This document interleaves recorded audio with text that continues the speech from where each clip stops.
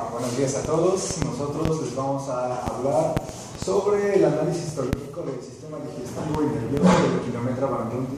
Mis compañeros son Alexis, Pablo, Karen y un servidor Gerardo. Eh, bueno, como introducción, el Equinometra Bandunti es un organismo perteneciente al, al filum de los equinodermos de la clase equino, equinoidea. Las características más remarcables de este organismo es que, bueno, es estómago, ya saben, con el ano de la boca, tiene un celoma muy bien desarrollado. Y hablando sobre los erizos, tiene una forma globular, un esqueleto, endoesqueleto formado por círculos o placas en donde pueden variar el número de espinas y de pies ambulacrales. Hablando de los pies ambulacrales, este es una de las características más representativas del grupo ya que por dentro presentan un sistema circulatorio acuoso, que se encarga de impulsar los movimientos de este organismo.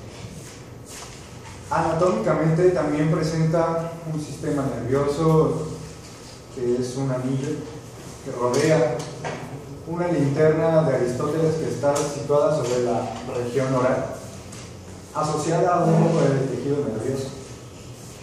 También tiene una región aboral donde presenta el ano, que es el final del tubo digestivo. Eh,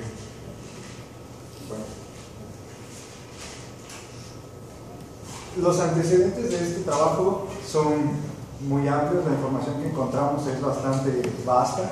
Sin embargo, los estudios histológicos que se llevaron a cabo están muy enfocados nada más a la descripción detallada del sistema digestivo, reproductor y ambulacral de este organismo, por lo que a nosotros nos pareció un poco más interesante enfocarnos al sistema nervioso y digestivo. Eh, los objetivos se los estoy presentando aquí, realmente estos no son los correctos. Sin embargo, nos propusimos como objetivo general realizar una caracterización histológica del sistema digestivo y nervioso de kilómetro Mabruti y como objetivos específicos nos propusimos analizar, identificar y caracterizar las estructuras histológicas más representativas de los sistemas digestivo y nervioso de Equinometra. Y por otro lado también buscamos la manera de relacionar, correlacionar las estructuras celulares e histológicas más importantes que pudimos encontrar en cuanto a su forma y función dentro de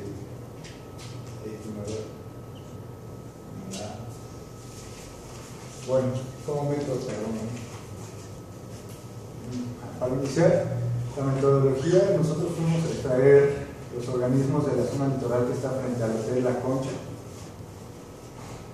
Mm, los transportamos dentro de una cubeta y donde implementamos una bomba de aire para mantener la aeración del organismo Fuimos un día antes del programado a la disección para tenerlo más fresco.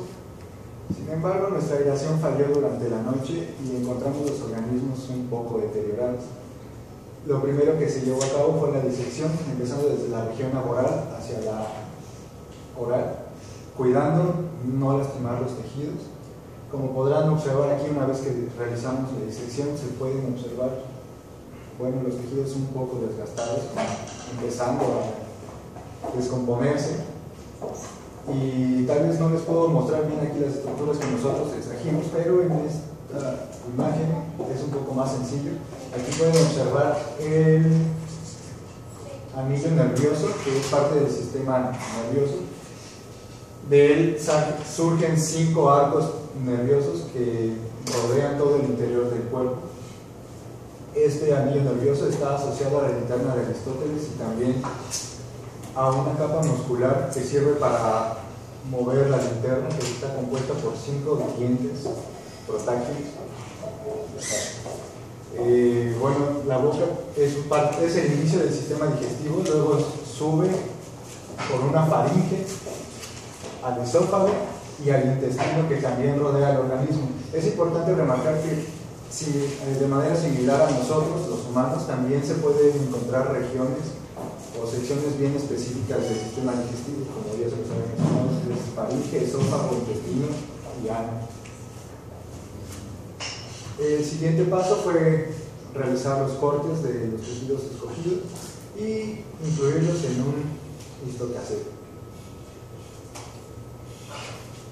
Posteriormente, los tejidos fueron guardados eh, por, en 5 días en formol al 10%. Desde posterior, posterior eh, eso fue para fijarlos, fijar el tejido. Posteriormente se, este, se enjuagó por 24 horas a agua corriente y luego se este, puso el ácido acético los este, órganos con este carbonato de calcio. Esos órganos, luego por problemas que tuvimos por Odín, los tejidos, todos los tejidos tuvieron que, tuvieron que ser guardados en etanol al 10% por las tres semanas que hubo de inactividad del huracán. Ah, después, la, primera actividad que hizo con los este, tejidos fue ponerlos en este este, este, aparato que prepara los, prepara los tejidos eh, de manera automática, poniéndolos en diferentes este, diferentes eh, soluciones de alcohol, comenzando con alcohol al 70%, luego al 90% y repitiendo eh, dos veces el alcohol al 100%. Después eh, este, introdujo poco a poco con este citrosol, de este que, que era para aclarar el tejido primero se puso eh, alcohol con citrosol al, este, al 50%, luego se puso citrosol al 100% y luego se usó citrosol con parafina. Ah, y aquí ya eh, comenzamos a este,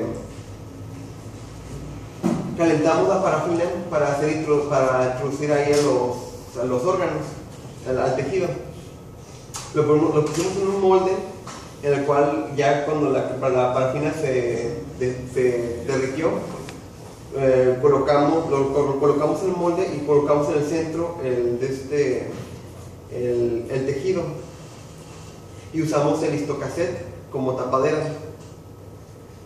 De este, ya se lo dejamos reposar unos 30 minutos y ya tenemos los histocassettes con, la tejido, con los los tejidos en, parafina. Eh, de manera subsecuente usamos el este micrómetro, microtomo, para este, hacer los cortes, eh, hacer los cortes de los, las laminillas. Eh, hicimos tres cortes por cada tejido y los retiramos usando el, el de este portaobjetos. Los tejidos fueron enviados luego a, a un baño de suspensión en el, cual los colocamos para este, que perdieran las, arrugas. El agua eh, estaba a 30 grados centígrados y luego los recogimos otra vez usando la fuerza de, adición del agua para levantarlos y ponerlos otra vez en el este, en el portajetos en el cual habían sido eh, previamente rotulados. Luego los colocamos en, tres canastillas diferentes y comenzamos con tres procesos diferentes de tinción. Bueno, primero es la, de, la hidratación. Los colocamos en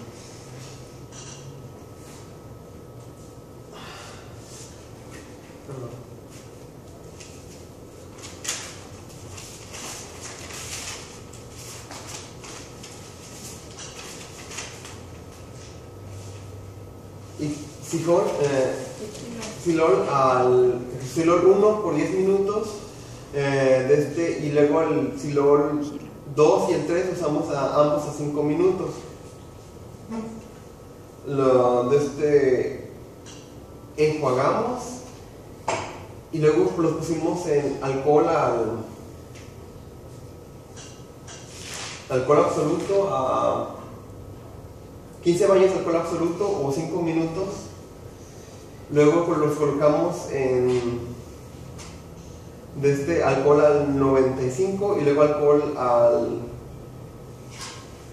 eh, una menor eh, alcohol al 80 y luego ya comenzamos con procesos de tinción fueron tres diferentes para cada una de las canastillas eh, las tres diferentes canastillas la después de los procesos de tinción se inició con el montaje de los tejidos. A cada uno se colocó cuatro gotas de citro,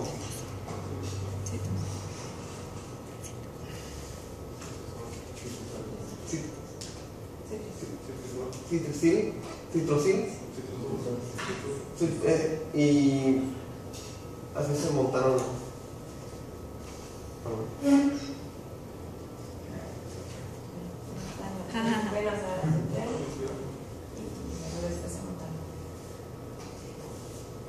Bueno, en, en cuanto al sistema digestivo encontramos que presenta estructuras como se puede observar en esta figura. Este, presenta pliegues que van hacia la luz o que se meten hacia el tejido conjuntivo. Eh, estas estructuras son similares a otras estructuras encontradas en, en mamíferos, que son las vellosidades escritas de Liverpool. Y también se encontró la presencia de células ciliadas. Ambas estructuras son características del sistema digestivo y las primeras tienen funciones de proveer una mayor área de superficie para que puedan caber más células. Y en cuanto a, las, a los cilios, a las ciliadas tienen funciones de absorción. También ambas estructuras están descritas por Akira Fuji en 1961 y por Bishop y Watts en 1992 para intestino de, erizo. Este,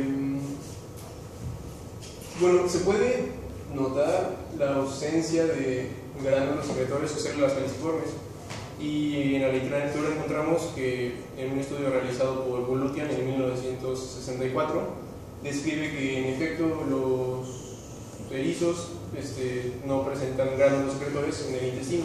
Sí lo presentan en otras partes del tracto digestivo, pero en el intestino no hay. Eh,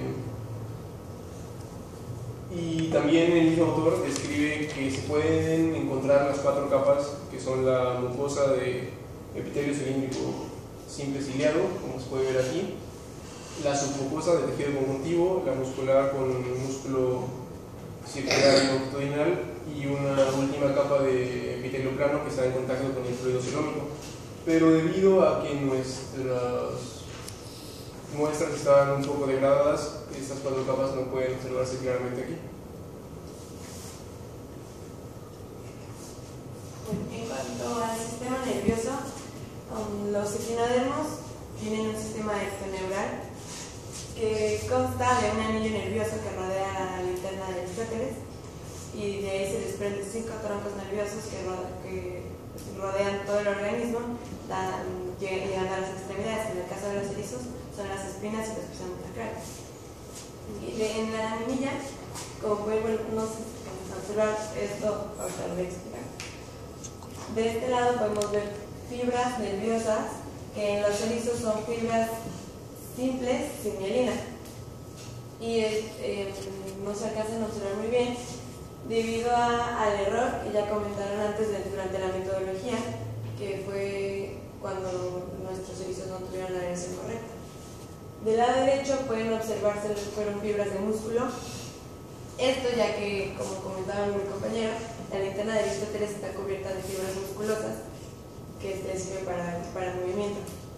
Entonces el anillo se encuentra rodeando la linterna de Aristóteles, por lo que se puede decir que está cerca o colindando con el tejido musculoso, por lo que se ve dentro de la anilla. Aquí ya está señalizado las fibras nerviosas y el músculo. para hablar un poquito acerca del por qué se ve tan degradado, tenemos que volver a los errores de metodología. El primero, como ya mencionamos antes, fue la falta de aireación durante la noche y el segundo que, que no fue mencionado fue durante las tensiones, ya que una de las tensiones se repitió el primer paso de la primera tensión en la segunda tensión. Tuvimos que decolorar el tejido, lo cual provocó que se desgastara. Ahora, um, ahora hablar un poquito de, de nuestro primer error de, de metodología. Vamos a ir un poquito a, a la medicina. En medicina se, se denomina isquemia a la muerte, bueno, a, a la muerte celular en un sistema apóxico. Un sistema apóxico es un sistema en el que no hay suficiente oxígeno para que las células funcionen correctamente. Este estrés puede provocar que las células mueran y el tejido por consecuente. A, a esta muerte del tejido por falta de oxigenación también se le llama necrosis.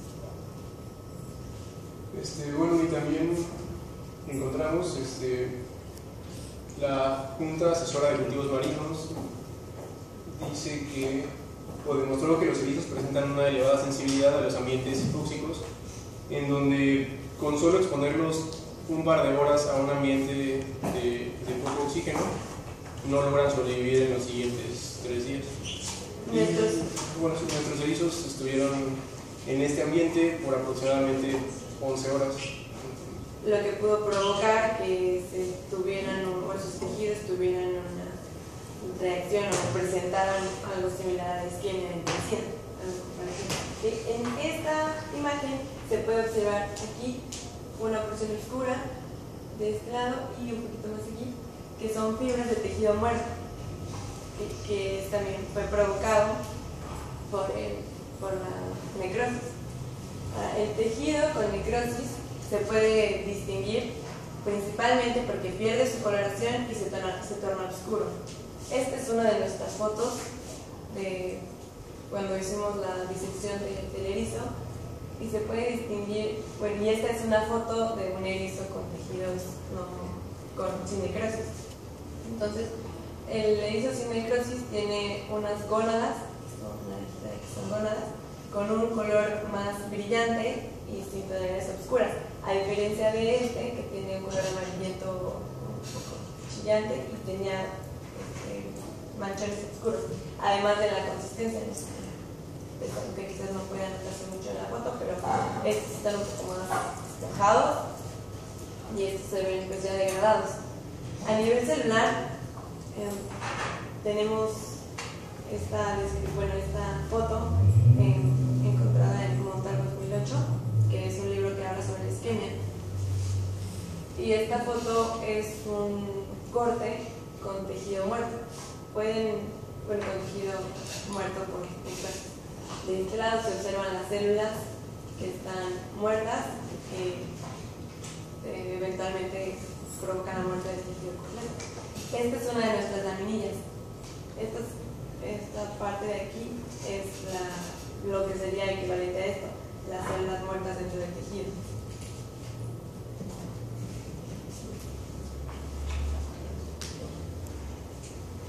Bueno, desgraciadamente, como ya les estuvimos comentando, debido a ciertos errores en nuestra metodología y demás, no pudimos alcanzar los objetivos que establecimos al inicio de la presentación y por lo tanto no se pudo llevar a cabo la caracterización correcta y la identificación de tejidos, células y estructuras principales del equinodermo en cuanto a su sistema nervioso y digestivo. Sin embargo, logramos llegar a ciertas inferencias que son las siguientes. El sistema digestivo de Echinoderma mamputi presenta estructuras tales como vellosidades criptas y epitelios elípticos simple conciles. Debido a sus hábitos alimenticios, no presenta células caliciformes en el intestino, lo cual lo diferencia de los organismos vertebrados.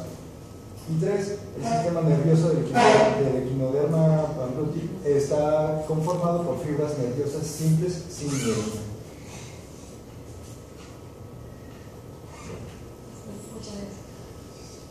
Agradecemos a sus compañeros.